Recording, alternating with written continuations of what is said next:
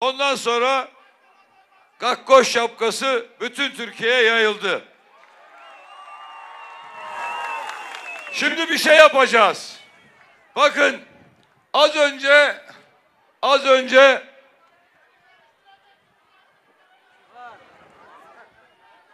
az önce faizler gene yükseldi. Dolar yine gidiyor.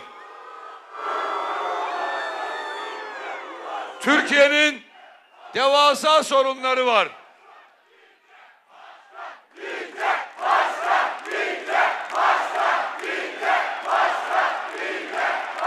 Türkiye'nin büyük sorunları var. Türkiye'nin bu büyük sorunlarını yorgun bir adam çözemez. Türkiye'nin büyük sorunlarının çözümü için taze kana ihtiyaç var. Taze kana. Neyle kavga ettiyse o yükseliyor. Dolarla kavga etti, dolar yükseliyor. Euro ile kavga etti, euro yükseliyor. Faizle kavga etti, faiz yükseliyor. İnce ile kavga etti, ince yükseliyor. Artık milletin derdiyle uğraşacak hali yok. Hele bu aralar kimyası bozuldu. Ne yapacağını şaşırdı. İşte oradan buradan bana saldırıyor. Hiç cevap vermeye bile gerek duymuyorum. Ama ama her açıklamasından bir mizah çıkarabiliyorum. Her açıklamasından. Diyor ki bana dördüncü köprüyü nereye kuracaksın diyor. Ben de dedim ki bak Edirne'den Elazığ'a bir gönül köprüsü kuruyorum. Benim anlayışımda ayrımcılık yok. Benim anlayışımda ha İmam Hatip'teki okuyan çocuk, ha Fen Lisesi'nde okuyan çocuk. Ha başı kapalı, ha başı açık. Benim anlayışımda insanları sınıflandırmak yok. Benim anlayışımda sarayda kendisi bıldırcın yumurtası yerken millete GDO'lu yiyecekler yok. Benim anlayışımda millet bir bardak çay içmeye para bulamazken 4500 liraya kilosu beyaz çay içmek yok. Bu artık o artık sizden biri değil. O saraylı saraylı. Bana ne diyordu? Gariban Cumhurbaşkanı adayı diyordu. Doğru. Ben garibanların adayıyım, sen saraylıların adayısın.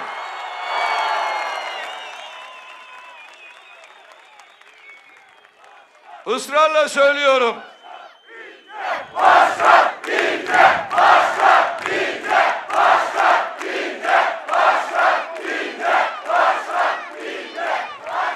Israrla söylüyorum. Artık milletin dertleriyle uğraşmıyor. Onları bıraktı. O gece konduda yaşadığı günleri unuttu. 1150 odalı sarayda yaşıyor. Yetmedi. İstanbul'da 5 saray yaptırıyor. Onları onarttı. Marmaris'te 300 odalı bir yazlık saray yaptırıyor. Allah'ın izni milletimizin isteğiyle Cumhurbaşkanı olduğumda Marmaris'teki yazlık sarayı engelli çocuklara vereceğim. Engelli çocuklara. Bu ülkenin çocukları için uğraşacağım. Sizin çocuklarınız için uğraşacağım. Bakın bir söz daha vereyim. Yurtlarda büyüyen çocuklarımız var. Anasız babasız çocuklarımız var. 3 bin, 5 bin, 10 bin değişiyor yıla göre. Bu çocuklarımız 18 yaşına kadar devlet gözetiminde. 18 yaşından sonra sokağa atılıyor bu çocuklar sokağa. Bakın değerli Elazığlılar sizin huzurunuzda söz veriyorum. Allah'ın izni milletimizin isteğiyle Cumhurbaşkanı seçildiğimde bu 18 yaşını doldurmuş kimsesiz çocukların hepsini devlet güvencesine alacağım. İşçi olan işçi olacak, memur olan memur olacak. Ama devlet güvencesinde olacak. Eğer 81 milyonluk Türkiye Cumhuriyeti kimsesiz çocuklarına bakamıyorsa yazıklar olsun bu millete, yazıklar olsun bu memlekete. Yine son günlerde şunu demeye başladı. Meydanlara geldi. Dedi ki Muharrem dedi, Bay Muharrem diyor bana. O bana Bay Bay, o bana Bay Muharrem diyor. Ben ona Bay Bay Recep diyeceğim. Bay Bay Recep. Bay Muharrem diyor. Köprü yapabilir misin diyor. Köprü yapabilir misin diyor. Tünel yapabilir misin diyor. Erdoğan sana söylüyorum. Sen fabrika yapabilir misin? Fabrika. Çıraklık döneminde telekomu sattın. Kalfalık döneminde pet gibi sattın, tekeli sattın. Ustalık dönemim diyorsun, şeker fabrikalarını sattın. Şimdi diyorsun ki büyük ustalık dönemi. Yok öyle ya ama. Senin bu sefer emeklilik dönemin, emeklilik. Milleti böldün. Milleti parçaladın. Senden benden dedin. Bizim zihniyetimizde sen, ben, o yok. Biz var, biz. Herkesi barıştıracağız, herkesi. Toplumu barıştıracağız. Önce barışacağız. Sonra ekonomik olarak büyüyeceğiz ve adil olarak bölüşeceğiz. Adil olarak. Bunu birlikte başarabiliriz. Elazığ az önce sokakta bu ruhu gördüm. Bu heyecanı gördüm. Siz buna hazırsınız. Bunu gördüm. Her türlü terörle ister IŞİD, ister PKK, ister FETÖ hiç fark etmez. Kararlı bir şekilde mücadele edeceğiz. E milletvekili adayımız da zaten bunu mecliste defalarca gösterdi burada. Siz de onu görmüşsünüzdür zaten. Her türlü kararlılıkta hep birlikte mücadele edeceğiz. Hep birlikte.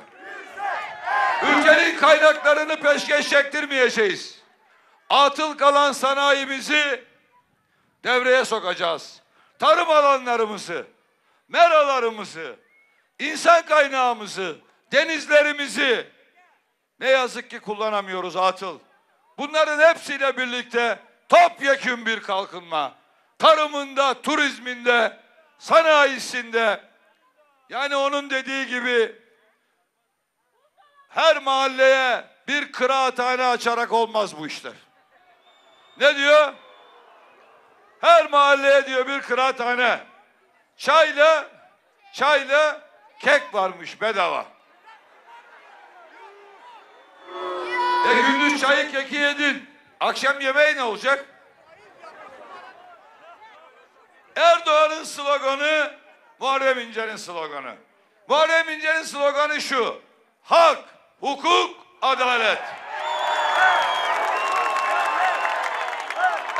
Erdoğan'ın sloganı çay, kek, oralet. Benim sloganı bir daha söyleyelim. Erdoğan'ınki çay, kek, oralet. Ben uzay madenciliği diyorum o kıraathane diyor. Ama bir, bir katkım daha oldu ona. Menüyü zenginleştirdi menüyü. Önce kekle çay vardı. Sonra yanına çorba ilave etti. Sonra Tatar böreği ilave etti. Sonra yakında İnegöl köfte, Arnavut ciğeri katacak yanına. Samimi söylüyorum bazen düşünüyorum. Ya diyorum bu yorgun adam bunları açıkladığına göre kazanmak istemiyor. Acaba diyorum bıktı. Memleketin büyük sorunları var da bana açıktan veremiyor iktidarı da böyle mi veriyor acaba diye düşünüyorum.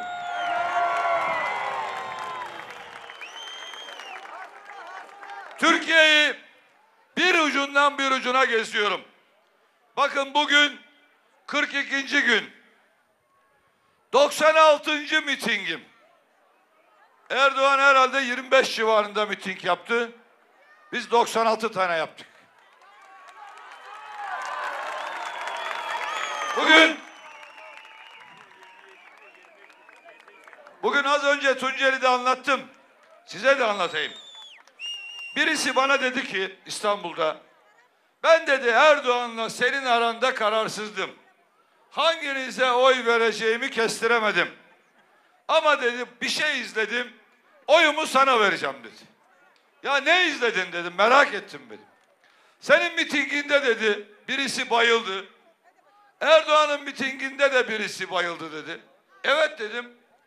Sen dedin ki diyor doktor arkadaşlar ilgilenin. Erdoğan dedi ki kafasına su dökün.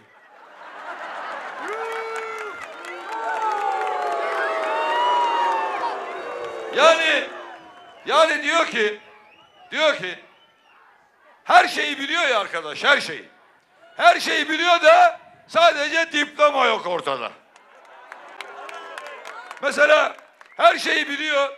Herkese diyor ki kafaları basmaz diyor. Ama ilkokul mezunu FETÖ onu kandırıyor. Bu 16 yılda haram yediler. Yalan söylediler. iftira attılar. Kumpas kurdular. Memleketi soydular. Çocukların sınav sorusunu da çaldılar. Hazineden parayı da çaldılar. Sandıkta oyu da çaldılar. Hepsini çaldılar.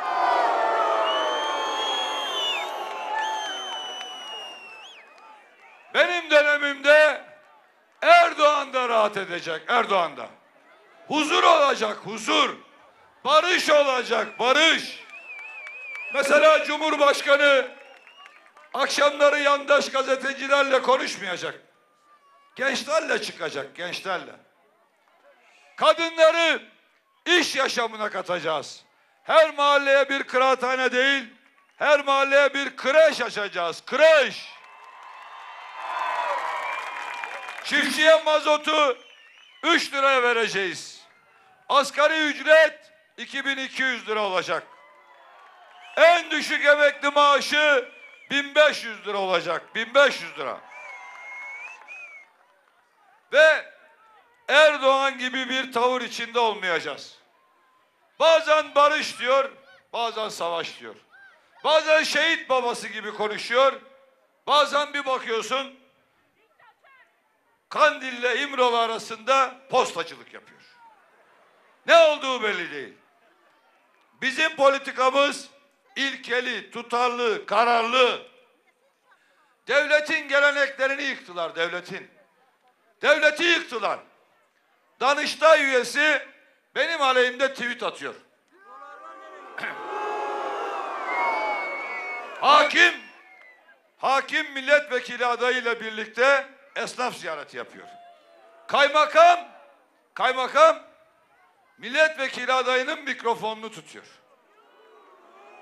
General beni eleştirdiği toplantıda Erdoğan'ı alkışlıyor. Bakın bu doğru değil. Bu devlet böyle yürümez. Erdoğan sen cumhurbaşkanısın ama valilerin il başkanı gibi çalışıyor. Böyle bir şey yok. Devletin sürekliliği var. Mesela Erdoğan 2013 yılında ne dedi? Gazze'ye gideceğim dedi değil mi? Beş senedir gidemedi. Allah'ın izniyle ben Cumhurbaşkanı olduğumda devlette süreklilik varsa ben gideceğim oraya söz. Erdoğan da gitse gitse ancak Gebze'ye gidiyor işte. Şimdi sizlerden bir şey istiyorum. Sizlerden bir şey istiyorum. İstediğim şu. 24'üne kadar herkes üç kişiyi ikna edecek. Üç kişi. Amcaoğlu, halaoğlu, dayıoğlu, komşu, teyze kızı. Söz mü? Yapacak mıyız bunu? Sonra, sonra oyumuzu kullanmaya gittik. İşimiz bitti mi? Hayır. Akşam üzeri sandıklar açılırken tekrar okula gideceğiz. Orada bulunacağız. Peki sandıklar açıldı. Sayım bitti. Seçim kuruluna doğru gidiyor. İşimiz bitti mi? Yine bitmedi. Nereye gideceğiz? Seçim kurulunun önüne. Oraya gideceksiniz. İl seçim kurulunun önüne. Peki il seçim kurulunun önüne gittiniz. İşimiz bitti mi? Hayır. Benim işim başlıyor. Ben ne yapacağım? Ben pazar günü oyumu kullanacağım. Hemen Ankara'ya gideceğim. Yalova'da oyumu kullanıp Ankara'ya gideceğim. Nereye gideceğim? YSK'nın önüne. YSK'nın önüne. Bu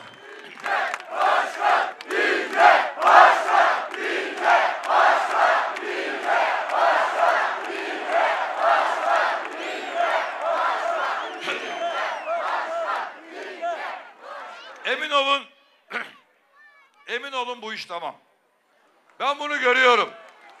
Bu değişim rüzgarını görüyorum.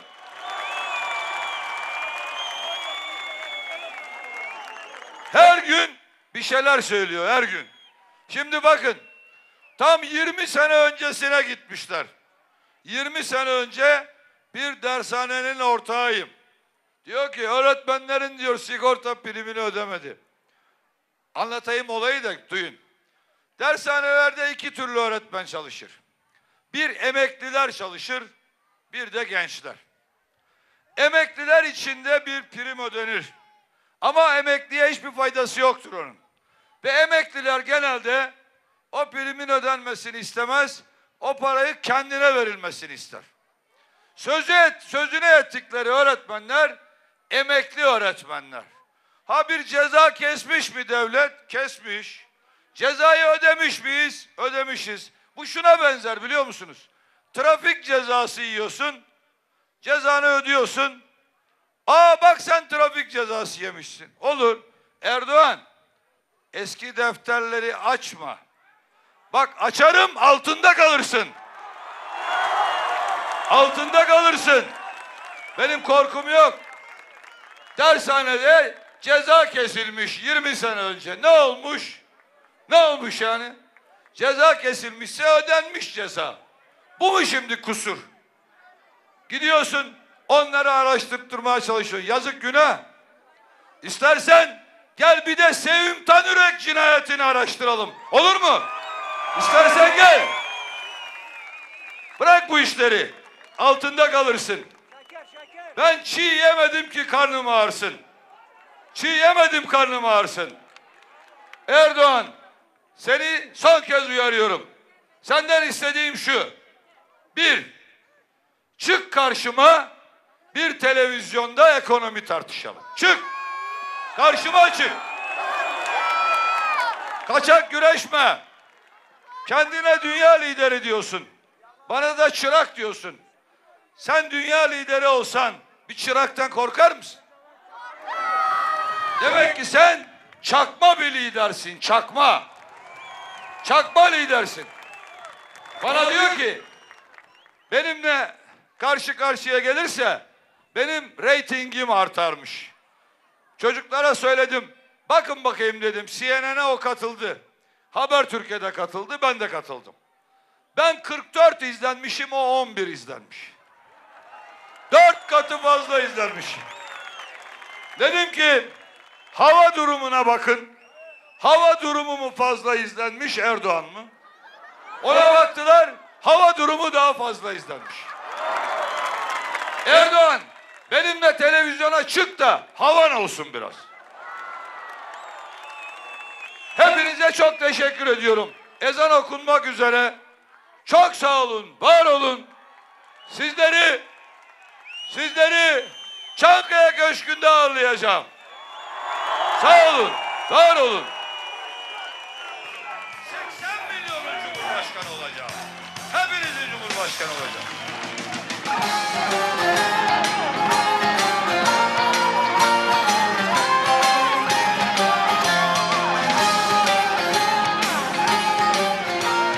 İşte millet, işte milletin evladı, işte Elazığ, işte hepimizin Cumhurbaşkanı. Türkiye'ye doğan güneş Muharrem İnce